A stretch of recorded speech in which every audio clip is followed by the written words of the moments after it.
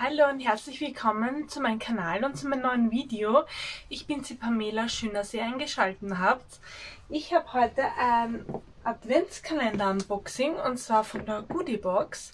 Und wenn euch das gefällt, dann bleibt doch bitte dran. Ich werde jetzt gleich einmal die äußere Hülle runtergeben. Laden zum Vorschein. Alles in diesen schönen Grün gehalten alles in einem schönen Grün gehalten. Also alles in einer Farbe. Passt heute sogar super zu meinem Outfit und zu meinem Lidschatten-Look. Und dann kann man die Laden hier so öffnen. Und so schaut das aus. Hier sind die Laden einfach so drinnen mit kleinen Schächtelchen. Genau. Ziehe sie mal alle raus, dass ich nicht immer auf zu auf zu machen muss. Und der Adventskalender kostet 119,95 auf alle Fälle. So, und ich nehme hier mal das erste Türchen raus. So aus.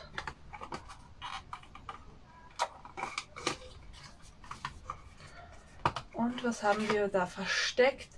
Von Symbiosis London eine Kollagen- und Isodekane Instant Perfect Primer mit 30 Milliliter. Ich hoffe, man hat das gut gesehen, weil weiß ist ja immer so ein kleines Problemchen, dass es vielleicht nicht so gut belichtet wird oder überbelichtet wird. So, die Nummer 2 ist ein bisschen ein größeres Paket.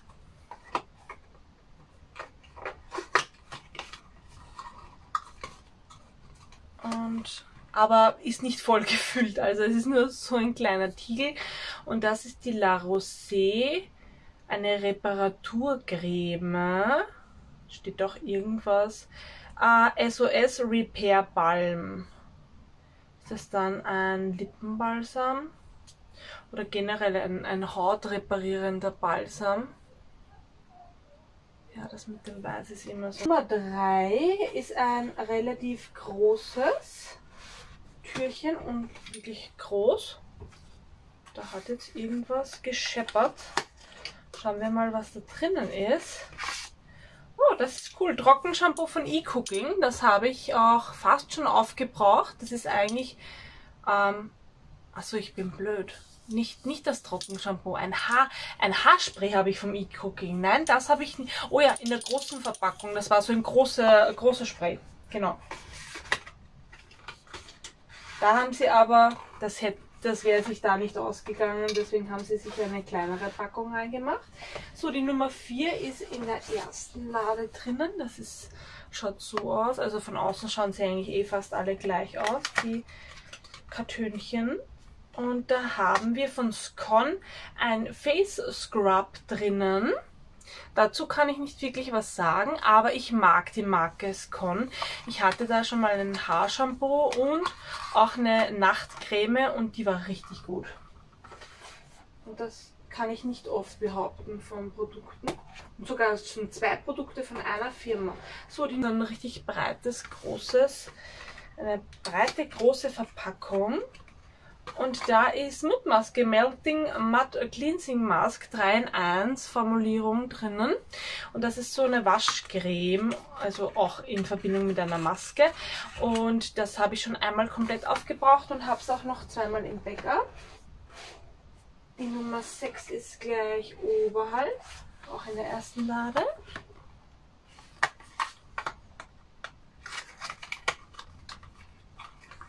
Ah, da haben wir so ein Deo drin. Das habe ich schon mal in rosa gehabt. We Love Deodorant Vegan. We Love the Planet. Luscious Lime. 48 Gramm, 40 Milliliter. So schaut das aus. Ich hatte das eben in rosa und habe es auch aufgebraucht. Also war nicht schlecht. Ist in der zweiten Lade drinnen.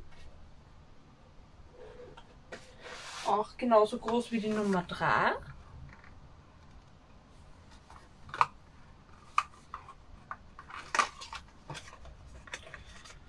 Und da haben wir das Hammersch drinnen gehabt von Marie Stella Maris.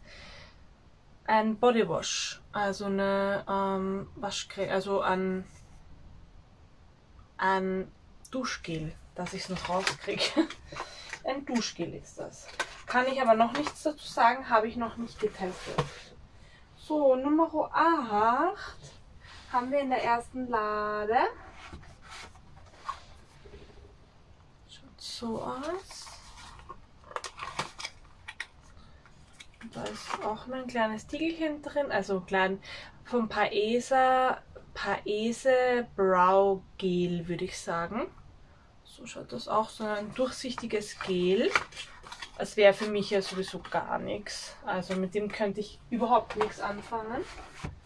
So, die Nummer 9.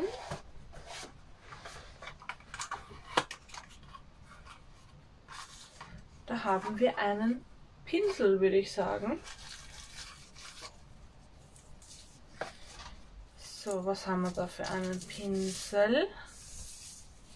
Von Nire Instabrow, also das ist so ein Augenbrauenpinsel, da haben wir das Bulli und das ist eben der Pinsel. Ja, haut mich jetzt nicht vom Hocker, ne? so ein Augenbrauenpinsel habe ich schon sehr oft zu Hause. So, die Nummer 10 haben wir in der zweiten Lade, ganz unten. Jetzt haben wir das. So schaut das aus. Ich muss sagen, bei manchen ähm, Kästchen sind, ist der Karton schon ein bisschen verbogen. Das finde ich jetzt nicht sehr toll. Und da haben wir ein... Was ist das? Mind Tank Cleanser.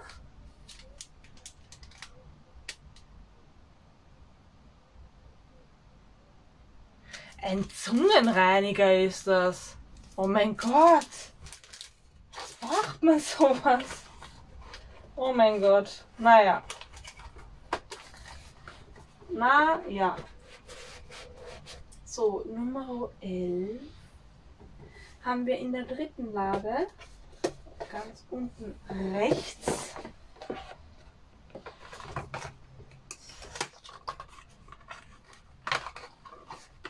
da haben wir von Elemis was drinnen und zwar ein Dynamic Resurfacing Facial Wash.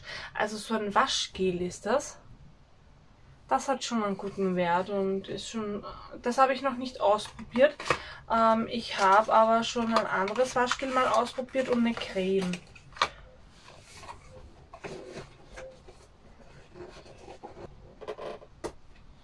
Lade, das ist ein richtig großes, aber Fühlt sich an, wie wenn nichts drinnen wäre. Da ist auch fast nichts drin, aber wir haben von Mi, Mikara, na, Mikura, Mikura, glaube ich, Eye Mask. Eine luxuriöse goldene Hydrogel-Eimaske mit Kollagen. So schaut das aus. Na. Aber das ist echt so leicht, dass man glaubt, es ist gar nichts drinnen. So, dann haben wir 13, ist in der zweiten Lade. Das ist ein bisschen schwerer.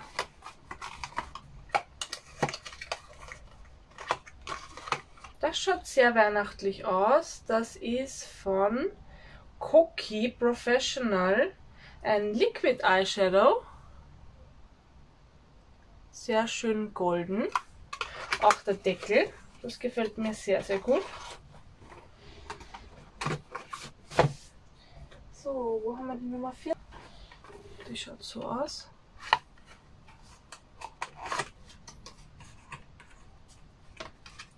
Da haben wir eine Tube drin und zwar von Jutsu Organic Tangent GC.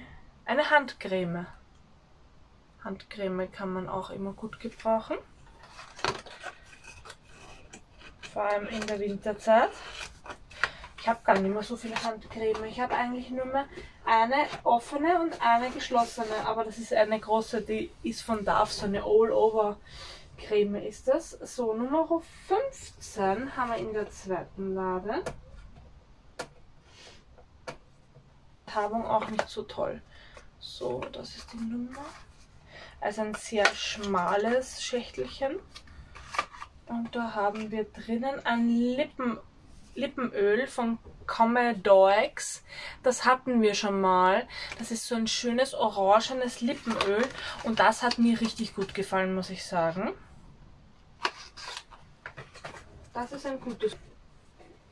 So, nun gut, nun gut weiter, ja, kann ich mal reden. Nun geht es weiter mit der Nummer 16. Und zwar schaut das so aus.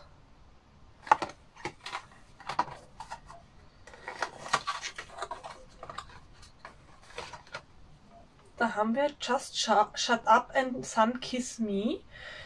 Das ist von Beaten ein Medium to 10 Gradual 10 Lotion. Also so eine Body Lotion, die was so ein bisschen ähm, eingefärbt ist. Von mittel zu dunkel. Es ist halt immer sehr schwierig, wenn man solche Sachen reingibt, weil es gibt sich auch helle Häutchen. Was machen die damit? Ähm, das ist halt dann auch nicht so toll, ne? So, die Nummer 17 haben wir in der ersten Box ganz rechts außen ähm, von oben bis unten so ein richtig großes ähm, Schächtelchen. Und da ist wirklich wenig drinnen. Da ist von Gosh eine Mascara, die Wonder Volume Mascara in Black drinnen. Und daneben ist gleich einmal die Nummer 18.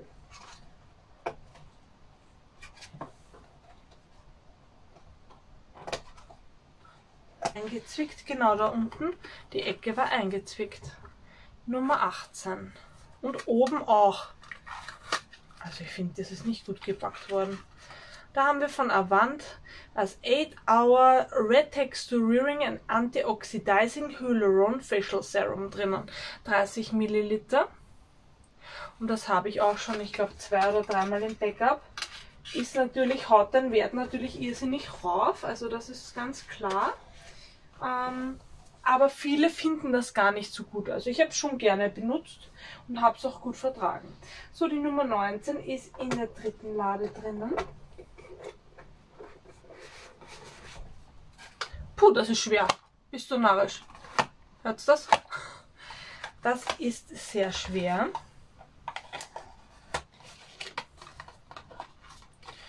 Steht kopfüber ein von Hiccup, ein Micellentoner, 100% vegan für alle Skin-Typen, also für alle Hauttypen ist da drinnen. Der Rest steht, ah ja, feuchtigkeitsspendendes und reinigendes Micellenwasser und Tonen ein. Reinigt sanft, beruhigt und hilft das pH-Gleichgewicht der Haut wiederherzustellen. Morgens und abends als abschließenden Pflegeschritt verwenden. Befeuchten Sie ein Wattepad und streichen Sie damit über das Gesicht. Wiederholen Sie den Vorgang, bis das Wattepad sauber bleibt. Nicht abspülen. Mit Serum und oder Feuchtigkeitscreme abschließen. Genau, das ist ein Toner. Aber normalerweise sollte man ja mit Zellenwasser auch abschwemmen. Ich weiß nicht, inwiefern das dann so gut ist, aber sowas würde ich eh nicht verwenden. Dann haben wir gleich einmal in der Mitte die Nummer 20 so aus.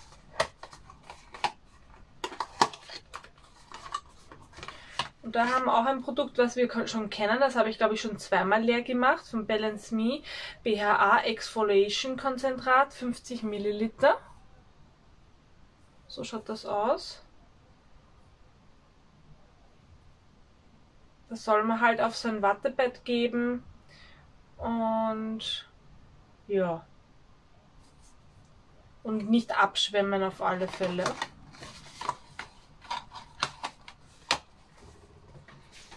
Die Nummer 21 haben wir dann gleich rechts oben, jetzt ein kleineres Tüchchen. Immer wenn das schlecht rausgeht, dann hat sich da irgendwas... Lass es. Okay, in dem Fall geht's. So, die Nummer 21. Wir sind schon in der Weihnachtswoche. Und da haben wir einen Nagellack ähm, von Zaka Beauty. Nail and Cuticle Öl, also ein Nagelöl. Wenn ich das richtig gelesen habe. Ich denke, das ist ein Nagelöl. Ja, ist jetzt auch nicht so mein Wunschprodukt. So, dann schauen wir, wo die 22 ist. Die haben wir in der zweiten Lade drinnen, ganz rechts außen. Oh, toll. Ich ziehe das raus und das ist schon so abgerissen. Katastrophe. So. Also ich finde, da hätten sie sich mit dem Einpacken schon mehr Mühe geben können. Und da haben wir eine Maske, Face and Neck Mask. Und so schaut die aus. Eine Gesichts- und Halsmaske ist das. Krass, das ist so ganz, äh, ganz groß und da ist eine Abtrennung auch für den Hals dabei. Das habe ich so auch noch nie gesehen. Normalerweise ist ja nur die Gesichtsmaske ähm, ganz normal, aber da ist eine richtige, das ist eine Gesichts- und Halsmaske quasi. Das finde ich irgendwie mal ein bisschen special. Nummer 23 haben wir in, ersten, in der ersten Lade ganz oben. Ist auch ganz leicht. Ich glaube, da ist nur ein Stift oder irgendwas drinnen. Mal schauen. Ja, und was ist das? Das ist von Sandstone Black and Bold Waterproof Liquid Eyeliner. Also ein Eyeliner, ein schwarzer.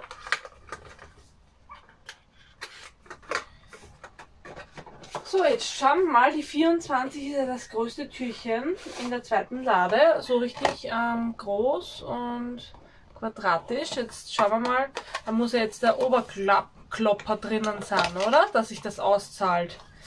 Da haben wir eine Creme, eine, nee, keine Creme, das ist von Rodial Retinol Resurfacing Pads. Also so Abschminkpads sind das. Ja, also mein Resümee für den Kalender ist, ähm, ich finde ihn nicht gut. Also ja, ich sage mal, wenn man voll nur auf ähm, Gesichtspflege ist und gewisse Marken schon mal ausprobieren wollte und nicht die Goodie Box abonniert hat, vielleicht. Aber ich finde, es sind viel zu wenig Megaprodukte drinnen und die Auswahl finde ich leider nicht toll und es ist schon viel, ne? Für 120 Euro. Ja, nee, ist nichts für mich. Also, mm. Aber schreibt uns gerne in die Kommentare, wer euch der Kalender gefällt. Habt ihr euch ihn vielleicht schon bestellt oder nicht? Und dann würde ich sagen, bis zum nächsten Mal. Tschüss!